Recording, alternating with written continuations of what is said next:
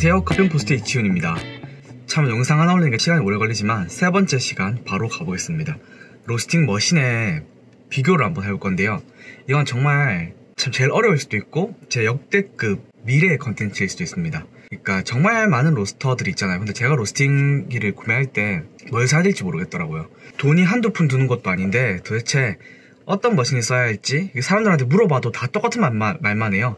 그 스타일에 따라 다르다 어떤 방식의 로스팅을 하느냐에 따라서 여러분들이 선택할 로스터가 다르다. 이 말밖에 안 해요. 그러니까 이 로스터는 어때서 좋은 거고 이 로스터는 어떤 부분에 초점이 맞춰져 있고 그냥 다 발표하고 난 이게 제일 좋은 것 같다. 뭐 이런 얘기 해주신 분들은 거의 한 명도 없었어요. 그냥 case by case다. 네가 가고자 하는 방향에 따른 로스팅기를 선택해야 된다. 심지어 글조차도 그런 것밖에 없었거든요.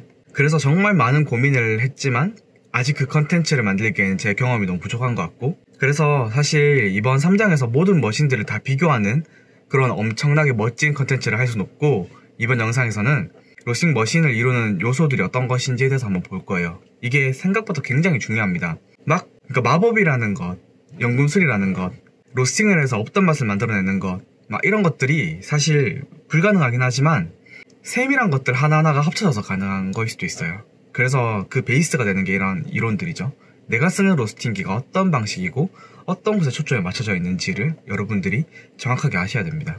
제가 다뤄본 로스팅기는요 처음에 이제 수망으로 하다가 그리고 팬 로스터 팬 로스터 팬으로 막 돌려서 하는 것도 했었고 그 다음에 이제 처음으로 자동 로스팅기를 구매했던 게 이지스터 100이에요 100 100g짜리. 지금의 이지스터랑 정말 다릅니다. 초창기에 처음 만드셨던 그 자작 로스팅기예요 100g 타공이 있었던 직화식 로스팅기고요. 그리고 그 다음에 아이로스터. 이게 사이즈는 정확하게 기억이 안 나네요. 아이로스터를 썼었고 부자로스터 550을 썼었고 그리고 스트롱홀드를 썼었고 그 다음에 트리니타스 T2를 썼었고 그 다음에 프로바티노 타입 2를 써보게 되는데 이건 많이 쓴 건 아니고 그냥 간단하게 컨설팅을 하면서 한번 써봤던 것 같아요. 그리고 로링으로 온 거죠. 로링 S7 사실 제가 써온 많은 로스팅기는 열풍에 가깝습니다. 열풍식이 훨씬 많은 편이고요. 처음에 그러니까 제가 어떻게 보면 직화식. 어, 저번 시간에 제가 조금 부족했던 부분이 복사열에 대한 이해가 좀 부족했었잖아요. 참 신기하게 유튜브 컨텐츠를 올리면서 사람들이 알려줬습니다.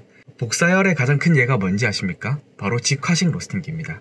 처음에는 오히려 제가 직화 복사열이 많이 드는 로스팅기를 써왔던 거예요. 수망이나 뭐 이런 것들을 쓰다가 반열풍식으로 전도율 비율이 높은 로스팅기를 쓰다가 열풍으로 넘어왔단 말이죠. 근데 이 열풍의 비율이라는 것이 많아질수록 정말로 많은 것들이 변합니다. 로스팅 프로파일이나 로스팅의 성격 같은 게 많이 변하기 때문에 처음에 적응이 안 돼요. 그래서 제가 느껴봐온 것들을 어, 이 컨텐츠 다 담고 있는 거죠.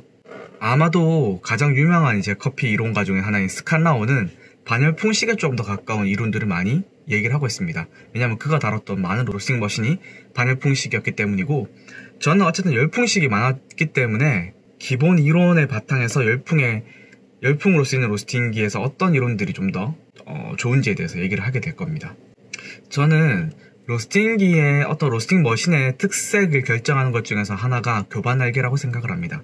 사실 많은 로스팅 회사에서 이런 교반 날개를 공개를 하질 않죠. 그리고 일반인들이 교반 날개를 볼 일은 더욱 없고요. 왜냐하면 드럼 안에 들어가 있기 때문에 막 이렇게 밑에 들셔봐야 이렇게 들셔서 막 이렇게 그거 해야 보여요. 그게 아니면은 보기가 힘들거든요.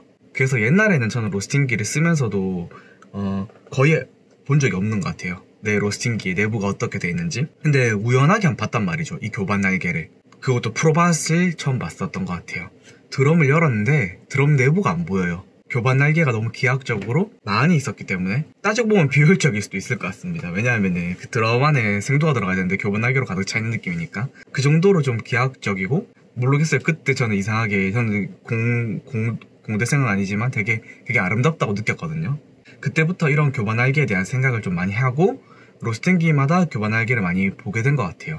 근데 확실히 전도열 방식의 로스터, 전도율 비중이 클수록 교반 날개의 역할이 굉장히 중요해지는 편입니다. 프로바시라고 하는 로스터가 이런 말을 하잖아요. 어떻게 볶아도 맛있다. 어떤 콩을 넣어도 프로바 맛이 난다. 맛있다. 근데 그 반대 이면에는 생도의 특색을 조금 덜 살려내는 로스팅을 하게 될 수도 있습니다. 왜냐하면 전도율 비율이 높은데 정말 잘 볶여지는 로스터거든요. 그래서 비쌉니다. 이 근데 이게 지금 현대는 또 달라요. 프로바스는 정말 타입들이 다 다른 것 같아서. 근데 좀 일반적인 개념으로는 그렇습니다. 교반 날개가 정말 그러니까 요런 사진들을 보면 나오죠. 프로바스 교반 날개인데요. 신기하게 생겼죠. 생두들이 교반 날개를 통해서 너무 이제 전도가 잘 되는 거예요. 그러다 보니까 로스팅 향이 잘 입혀지게 되고 그래서 프로바 맛이라는 게 생기는 것 같아요. 그러다 보니까 결국에 조금 더 배전 높은 쪽에 유리한 감이 없잖아 있는 것 같습니다. 제3의 물, 아, 제3의 물결이보다 제2의 물결이 될 수도 있는 그런 로스팅에 어쨌든 유리한 점이 있고 더 맛있게 되는 것 같습니다. 왜냐하면 탓을 안 하니까 아, 탈 수는 있지만 굉장히 균일하게 탄다고 해야 되나? 그렇기 때문에 어, 로스팅된 향이 정말 잘 배이는 것 같아요. 근데 생두에 초점 맞춰지는 로스팅을 하는 것에는 무조건 유리한 건 아니다. 이렇게 생각하시면 좋을 것 같아요. 그러니까 그게 교반 날개의 어떤 장점 같은 거죠. 두 번째 여기 있는 거는 여기 있는 거는 조퍼라는 로스팅인데 지금 구조를 보면은 프로밥보다 확실히 뭔가 없긴 없죠. 그 외에도 이런 다양한 드럼들이 있습니다. 정말 다양한 구조들이 있죠. 이 구조에 따라서 맛이 변하긴 변할 것 같아요. 근데 이게 정확하게 어떻게 된다를 알기에는 제 지식 부족하네요. 근데 어쨌든 교반 날개가 더 콩들을 잘썩 고 아니면 잘 열이 효율적으로 전달되도록 하는 것이 어떤 목적이 있는 것 같아요. 근데 이 부분은 정말 어, 유체나 이런 유체 역학이나 이런 것들을 정말 잘하는 기술자들이 설계를 잘 했던 것 같고 그래서 비싼 로스팅기가 비싼 게 아닌가라는 생각을 해봅니다. 그리고 보통 직화식 로스터들은요 드럼이 있죠. 드럼이 있으면 이 드럼에 타공이 있습니다. 구멍이 요 드럼이죠. 이런 드럼이 대표적으로 후지 로얄이라는 로스팅, 로스팅 machine인데요. 직화식 로스팅 machine이라고 부르고 전 시간에 배웠던 걸 토대로 하자면은 직화식 로스팅은 복사열이 가장 큰 매개가 되긴 됩니다. 하지만 결국에 복사, 직화, 전도, 그러니까 직화 전도가 아니죠. 복사, 전도, 열풍은 항상 존재한다는 것. 비율만 좀 다른 편이고요. 타공이 있는 드럼은 어쨌든 불이 이 생두에 직접 닿이기 때문에 복사열의 역할이 가장 크다 생각하시면 되겠죠. 그리고 요거는 예전에 홈 로스터들 사이에서 굉장히 유명했던 뷸렛이라는 로스팅기의 어, 교반 날개입니다. 되게 특이하게 생겼죠, 얘도. 얘는 재밌는 게요. 그 전 시간에 제가 얘기했던 드럼의 열이 조절이 된다고 해요. 드럼에. 그러니까 밑에 가스를 가스를 이렇게 뿜어내서 드럼을 달구는 방식이 아니고 드럼 자체의 온도가 조절이 된다고 합니다. 그래서 이 교반 날개의 구조가 조금 다른 게 아닌가 생각을 해봅니다. 그리고 마지막 교반 날개를 한번 보자면 요거 로링입니다. 로링 S7. 로링 S7의 가장 특이한 구조는요. 드럼이 돌질 않아요. 대부분의 로스팅기가 이 바깥쪽 드럼이 돌거든요. 근데 로링은 축이 돕니다. 축이 돌다 보니까 굉장히 특이한 방식이 되죠. 그러니까 교반 날개가 보통 드럼에 달려있는데 로링은 축에 달려있는 겁니다. 저는 엄청 효율적이라고 생각을 해요. 그리고 열풍이기 때문에 가능한 게 아닌가.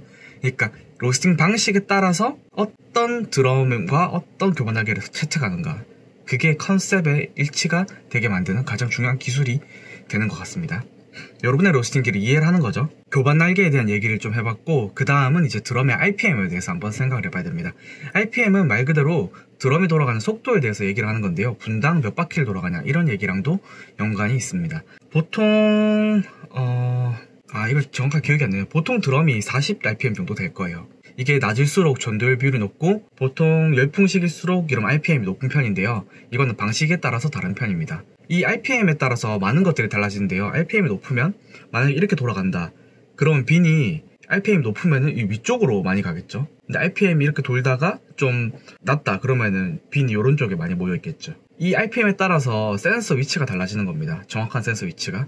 그래서 RPM을 바꾼다고 해서 그걸로 끝이 나는 게 아니에요. 만약에 정확하게 하려면 RPM이 달라지면 센서 위치까지 달라져야 돼요. 그래야 로스팅이 재현이 되는 거죠. 똑같은 로스팅을 한다는 게 이렇게까지 어렵습니다. 모든 로스터 같은 브랜드여도 조금 조금씩 다를 수밖에 없는 게 이런 것 때문이라고 생각을 해요. 그러니까 하나의 모든 것들이 합쳐진 복합체 같은 거라고 볼 수가 있죠. 하나의 세 개가 로스팅기 안에 있는 거예요. 어, 그리고 보통 같은 회사의 로스팅 머신이라도 용량이 작을수록 RPM이 좀 큰 편이고 용량이 커질수록 RPM이 느려지는 편입니다. 왜냐하면 이거는 구조 때문에도 어쩔 수 없다고 생각을 하는데요. 이런 RPM에 대해서 생각을 할 때 저희가 또 한번 고려해야 될, 고려해 볼 만한 부분이 bean의 사이즈입니다. 스크린 사이즈. 스크린 사이즈에 대해서 우리가 어떻게 로스팅을 할지를 정말 궁금해하기도 했고 저도 많이 궁금했던 부분인데요. 이건 스칸라고의 어떤 유료 강의에도 들어가는 부분 중에서 하나예요. bean 사이즈가 크면요. bean 사이즈가 크면 드럼과 드럼 교본 날개와 마찰을 많이 하게 됩니다. 그래서 RPM이 한 2에서 3 정도는 낮아지는 효과를 낸다고 해요.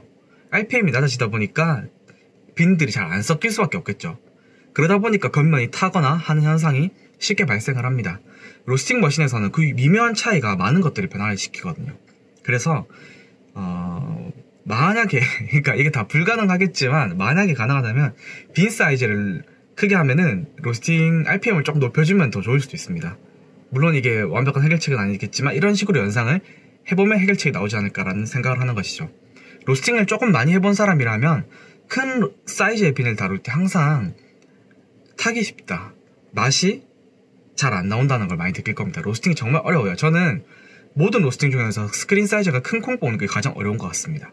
네, 이제 RPM까지 얘기를 했고 이제 드럼의 재질에 대해서 드럼의 재질에 대해서 한번 얘기를 해보겠습니다. 로스팅기 드럼의 재질은 정말 많은 것들이 있을 수도 있지만 여기서 다루고자 하는 것은 두 가지입니다. 왜냐하면 이 두 가지로 드럼 재질에 대한 개념이 충분히 다뤄지거든요.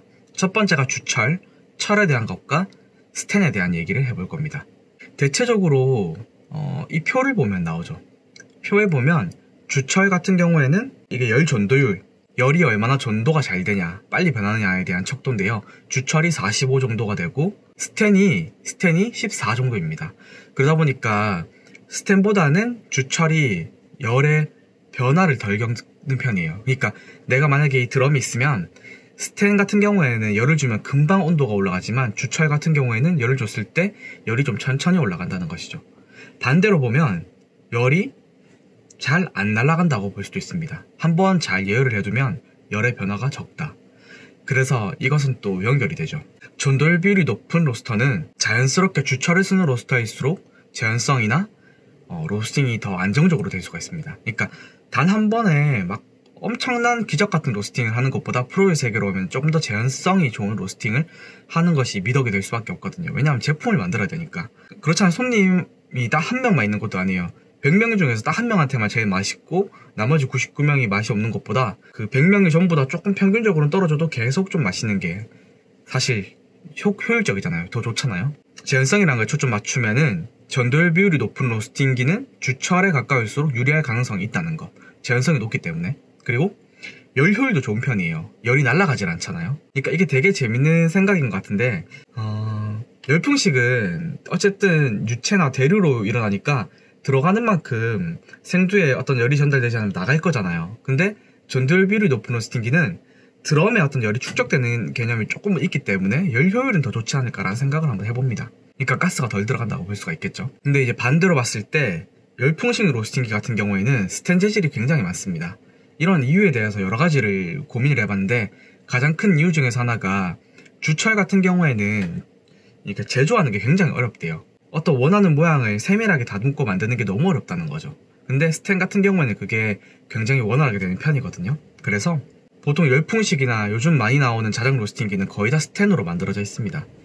스텐으로 만들어져 있기 때문에 어, 가스로 하는 로스팅은 사실 조금 재현성이 떨어질 수도 있고 열풍식으로 하는 로스팅기는 오히려 이게 스텐이 맞아요. 생각해보면 열풍이 만약에 90%면 열풍이 90%라면 스텐의 온도 변화가 콩에 변화를 좀 덜 주겠죠. 그렇죠. 스텐이 처음에는 막 예열이 덜 돼서 10% 뜨겁고 후반부에 90% 뜨겁다고 해도 이 비율 자체가 10%만 영향을 주는 거이기 때문에 그래서 로스터는 스텐 재질의 드럼을 쓰면서 강력한 열풍을 불어넣어주는 겁니다. 이게 드럼의 재질을 좀 알아야 될 필요가 있는 것이죠. 그러니까 내가 쓰는 로스터가 열풍식이면 스텐 재질이기 때문에 예열이나 아니면은 그 cooling 같은 게좀더 빨리 끝나겠다라는 생각도 할 수가 있고 이게 잠깐만 식혀도 드럼이 너무 빨리 온도가 떨어질 수도 있다는 생각을 할 수가 있는 겁니다. 그런 대처를 할 수가 있는 것이죠. 어, 요즘 이제 제3의 물결이라고 하는 specialty 커피. 거기다가 이제 더한 top specialty 커피라는 것들이 생기고 있죠. 그러니까 가격대가 이제 훨씬 비싸진 커피들이 생기는 겁니다. 이런 로스팅기 아 이런 커피들일 경우에는 생도 가격이 높아질수록 로스터들이 어떤 걸 무서워하냐면 실패하지 않는 것 실패하는 것을 굉장히 두려워할 수밖에 없습니다. 그러니까 너무 맛있어지기 위해서 극단적인 조치를 하는 것보다 좀 일정한 맛을 내는 것에 초점 맞출 수밖에 없어요. 근데 그런 면에서는 열풍이 유리한 건 사실입니다. 전도율 비율에 전도율 방식의 로스팅기는 어쨌든 열을 드럼에 주거든요. 그러면 앞서 말씀드렸듯이 드럼에 열을 주기 때문에 드럼이 다시 생도에 열을 준 열을 전달하는 데까지는 이제 어떤 시간이 필요해요. 텀이 훨씬 많이 들어오는 거죠. 내가 그러니까 10만큼 열을 주고 싶은데 드럼에 그 생도에 정확하게 10만큼 열을 전달하는 게 드럼 재질은 드럼을, 드럼을 통해서 하는 거 굉장히 어렵다는 거예요. 그러려면 아까 말했던 뷰레처럼 드럼 자체의 온도가 어떤 식으로 유지가 된다는가, 변화가 된다던가, 이런 게 돼야 되는데 이거 정말 어렵잖아요. 그러니까 드럼이 이제 10%면 10% 열이 나고 90%면 90% 열이 유지가 되고 이런 게 되면 이제 드럼으로 전도율 방식으로 조절하는 로스팅기의 어떤 극치 정말 완벽한 로스팅으로 완벽한 전도율의 가능성이 열릴 수도 있을 것 같은데 제가 봤을 때 이건 거의 불가능한 것 같아요. 근데 열풍으로 하면 이게 좀 가능한 편이거든요. 왜냐하면은 열풍은 제가 조절할 수 있기 때문에 열풍의 퍼센테이지나 강함은 로스터들이 조절할 수 있기 때문에 좀 긍정적인 부분이 아닌가 생각을 해봅니다. 근데 어, 또 이런 말을 하면 그렇지만 스벅 스타일로 볶는 거 있죠. 엄청 강력하게 볶는 거. 모든 생도가 거의 비슷한 맛이 날 정도로 강력하게 볶을 때는 솔직히 로스팅을 어떻게 하느냐에 따라서도 좀 영향이 덜한 것 같아요. 아무리 잘 볶아도 2차밥 절정까지 가는데 이게 뭐 초반에 어떻게 한다고 영향이 막 엄청 많이 가는 거 아니라고 보거든요. 그래서 사실 엄청 강배전을 할 때는 이런 부분이 또 오히려 재현성이 높아지는 게 아닌가 생각도 할 수가 있을 것 같습니다. 할 수도 있을 것 같습니다. 근데 이제 뭐 어떤 로스터 로스팅 머신이 더 좋다, 더 우월하다고 얘기는 할 수가 없는 것 같아요. 그래서 제가 로스팅 머신을 선택할, 선택할 때 많은 사람들이 당신이 어떤 길을 가느냐, 어떤 목적을 가는지 가지느냐에 따라서 너무 다르다는 얘기를 하는 것 같고요. 근데 하나 재밌는 점은요.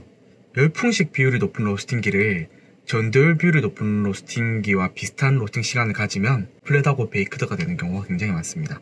열풍식 로스팅기는 음, 어쨌든 콩이 시간이 그러니까 fast roasting이 아니고 길게 가면 갈수록 정말 플랫해지는 경향이 있어요. 그래서 열풍식은 자동적으로 맛을 맞추기 위해서는 빠른 로스팅 시간을 가질 수밖에 없는 거죠. 이 이유는 정확하게 모르겠습니다. 자 이제 드럼 이야기를 어느 정도 마무리하고 댐퍼로 가볼 건데요. 제가 이 얘기를 하면은 또 딴지를 걸거나 싫어하시는 분들이 정말 많을 거예요. 왜냐하면 댐포 조절을 끊임없이 하고 있는 분들이 많을 거거든요. 사실 저도 옛날에 댐포 조절 정말 많이 했습니다. 왜냐면 그게 재밌거든요. 수망하다가 막 온도계 생기면 너무 재밌고 온도계 막 여러 가지 시, 온도 따라서 다르게 보고 싶고 그냥 막 로스팅 하다가 사이클론 생겨서 댐퍼가 생기고 나면은 그게 너무 재밌고 궁금해요. 그래서 그걸로 로스팅이 어떤 영향이 가는지를 많이 테스트를 했었는데 사실 점점점 가면 갈수록 이 댐퍼의 역할에 대해서 많은 회의감이 듭니다. 첫 번째로 이유는요. 여러분들의 로스팅기에 공기 유량을 측정하는 장치가 없어요. 아 잠시 전에 댐퍼라는 건 이런 겁니다. 댐퍼는 로스팅기의 공기 흐름을 조절하는 거라고 볼 수가 있죠.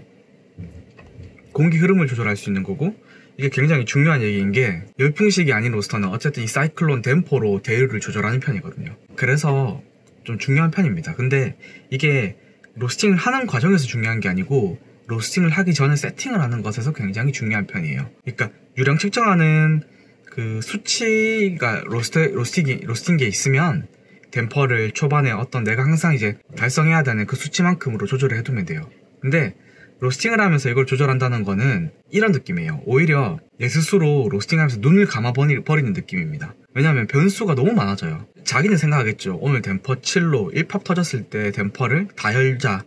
다 열고 1팝이 끝나면 댐퍼를 반 정도 닫고 좀 뜸을 들이자. 뭐 이런 얘기를 할 수가 있는데 그게 내가 쓰는 수치랑 실제 반영되는 거랑 너무 더 다르다는 겁니다. 왜냐하면은 지금 여러분들의 댐퍼 상태도 어쨌든 그름 같은 게 많이 뭉쳐져 있을 수도 있고 체프 같은 것들이 끼어 있을 수도 있기 때문에 제가 이제 그 수치를 볼 수 있는 로스팅기를 통해서 해보면 정말 달라요. 다이어로도 똑같을 때도 있고 닫으면 물론 좀 수치가 줄어들지만 다이어로도 똑같을 때가 많다는 거죠. 그러니까 괜히 혼돈되는 것보다 댐퍼는 제가 동영상 하나를 추천드릴 건데 이 동영상처럼 어떤 공기의 흐름을 확보하는 정도로 고정을 해두고 쓰는 게 좋다. 그렇게 생각하시면 훨씬 좋을 것 같습니다. 그러니까 뭐 대부분의 어떤 로스팅기든 저는 개인적으로는 로스팅 시작 전에 고정 댐퍼로 고정을 해두고 적정 유량을 확보한 뒤에 로스팅을 하는 게 좋다고 생각을 합니다. 그게 오히려 재현성을 확보하고 실패를 하지 않는 방법인 것 같아요. 아까 처음에 말씀드린 1장에서 말씀드린 맛있는 커피의 오류를 범하지 않을 수 있는 가장 큰 방법이죠. 내가 댐퍼를 막 조절해서 누군가 맛있다고 하면은 내가 맛있어진 이유가 댐퍼 때문이라 생각하는 그런 오류를 범하지 않기 위해서입니다. 정말 정확한 정보들을 데이터를 쌓을 수 있다면 댐퍼를 조절해서 로스팅하는 것도 뭐 가능할 수는 있겠지만 그 전에 해야 될 게 너무 많기 때문이죠. 다 다른 것도 다 하고 댐퍼 건드리시는 게 좋지 않을까 생각해 봅니다. 어, 뭐 댐퍼 그 공기 유량이라고 하는 게 좋겠죠. 댐퍼를 가장 강력하게 열면은 그 유량이 너무 빠를 때는 센서 자체에 이제 이거는 모든 로스팅기에 적용되는 건 아닌데요. 강력한 여론이 있는 열풍식 로스팅기 같은 경우에는 유량이 많이 확보되면 팝 터지는 온도가 높아집니다. 빈들은 똑같은 온도에서 팝이 터질 거예요, 대체로. 근데 왜냐하면 이 BT라는 게 센서 온도이기 때문에 강력한 열이, 그러니까 BT보다 ET가 항상 높잖아요. Environmental Temperature가 항상 더 높은 편인데 이 ET에 해당하는 열풍이 센서에 훨씬 많이 그 도달하게 되는 거예요. 유량이 많이 확보되면 그렇게 되면 이제 더 높은 온도가 측정될 때 pop이 터지는 겁니다. 아시겠죠? 근데 이거는 로스팅기마다 좀 다를 것 같아요. 대체적으로는 제가 샀던 건 센서 온도가 되게 높을 때 pop이 터졌습니다. 똑같은 bean으로 했으면 댐퍼를 다 닫았을 때와 다 열었을 때 열었을 때 팝 온도가 더 높았다. 근데 bean 온도는 똑같을 거예요. 실제 bean 온도는 마지막으로 한번 얘기하고 싶은 거는 센서에 대한 얘기입니다. 저는 앞선 모든 그 요소들도 중요하지만 센서가 정말 중요한 것 같아요. 지금 보면 볼수록 요즘 더 느낍니다. 왜냐하면 센서는 저의 눈이에요, 눈. 눈을 감고 무언가를 할 수가 없잖아요. 그 정도가 되면 이제 진짜로 장인의 경지라고 볼 수도 있는데 그 센서가 뭔가 이제 모두가 다르단 말이에요. 모든 로스터들이. 그래서 profile도 달라지고 우리가 소통하기가 너무 어려워지는 겁니다. 그래서 스칼라오라는 사람은 처음에 많이 하는 게 로스팅기 튜닝을 많이 해요. 그러니까 맞춰버리는 거죠. calibration, 튜닝이라고도 하고 로스팅 칼리브레이션이라고도 얘기를 하는데 어, 스칼라오가 추천하는 건 3mm의 센서를 정확한 위치에 부착을 하는 겁니다. 이렇게 되면 그의 말로는 150도에 pop이 온다고 합니다. 그러니까 이런 식으로 온도랑 그 아, 센서의 위치를 맞춰버리는 거죠. 근데 확실하게 센서의 밀리수가 작아질수록 3mm에 가까울수록 반응이 정말 빨라요. 그렇기 때문에 더 반응이 빠를 때 측정하는 게 정확하긴 하겠죠. 10mm의 센서가 부착되어 있으면은 TP도 늦게 오고 조금만 해도 뭐 smooth하게 내려가는 편이에요. ROR 같은 게. 이제 나중에 ROR 얘기도 할 건데 smooth하게 내려가니까 내가 잘한다고 생각하는 거죠. 근데 센서를 바꿔버리면은 ROR이 내려갔다 올라갔다 내려갔다 올라갔다 이렇게 하는 거예요. 그러니까 bean 센서도 굉장히 중요하다. 여러분들의 profile을 어, 막 판단하고 누군가한테 검증받고 다른 사람의 profile을 검증하기 전에 여러분의 로스팅기의 제원이 어떤 것인지부터 보는 게 중요할 것 같습니다. TP라는 건 어쨌든 어, 센서로 결정이 되는 게 많거든요. 로링 같은 경우에는 TP가 30초 60도에 옵니다. 엄청 빠르죠? 30, 로링도 3mm 센서를 쓰고 있어요. 근데 팝 같은 경우에는 거의 205도 어, 근처에 옵니다. 굉장히 높게 오죠. 열풍이 너무 세기 때문이에요. 간격이 정말 크죠. 이게 이제 어떤 열풍의 세기와 어떤 센서 차이 때문인데 이런 부분이 왜 그런지에 대해서 이해를 하는 게 이제 굉장히 중요해질 것 같습니다. 그러니까 뭐판몇 도에 와야 돼요, 몇 도에 와요, 몇 분 해야 돼요 이런 걸 무, 물으려면은 내 로스팅기가 어떤 건지를 알아야 되거든요. 아시겠죠? 자, 3장 마지막 요약. 3장 마지막 요약은 로스팅기 머신의 종류에 대해서 알고 싶다. 그거는 시간이 지나면은 자동으로 알게 될 것입니다. 자동으로 알게 될 것이니 여러분은 인풋과 아웃풋부터 공부를 하시면 됩니다. 감사합니다. 아 그리고 제가 한 가지 더 말씀드리고 싶은 게 어, 이게 유튜브 영상을 컨텐츠로 만드니까 너무 오래 걸려요. 편집하는데도 막 4시간 걸리고 찍는 것도 힘들고 대본 다시 만드는 것도 기획하는 것도 힘들고 해서 제가 여기 페트리온이라는 거 프로필 그 이번 영상에 그 상세 설명에도 넣, 링크를 넣어둘 건데요.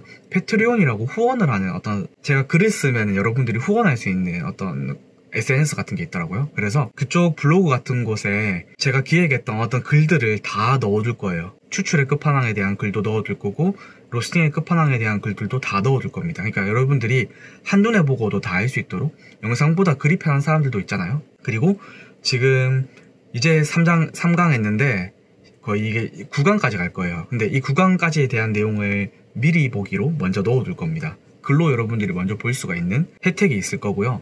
그리고 제가 올해 목표가 책을 하나 출간을 할 거예요. 이거는 커핑이나 커피를 맛보는 방법, 커피를 더 맛있게 맛보는 방법들에 초점이 맞춰져 있을 거고 대중이나 바리스타 많은 로스터들 모두에게 도움이 될 거라고 생각을 합니다. 제가 커퍼로서 전문적으로 테이스팅할 때와 그냥 커피를 즐길 때 어떻게 했을 때 더 맛있게 느껴졌는지에 대한 얘기 드릴 건데요. 어쨌든 여러분들의 손님이 맛있게 느끼는 게 중요하잖아요. 그러니까 그런 것들을 돕는 어떤 책이 될 겁니다. 이 책에 대한 것도 여기 계속 들어 넣을 거예요. 그러니까 책에 대한 내용을 계속 쓰고 올해 말까지 출간할 수 있도록 할 거예요. 후원 금액이 3,000원이거든요. 월 3,000원? 그러니까 그렇게 크지 않기 때문에 후원 부탁드립니다, 여러분. 제가 더 열심히 해보겠으니 꼭 후원 부탁드립니다. 감사합니다.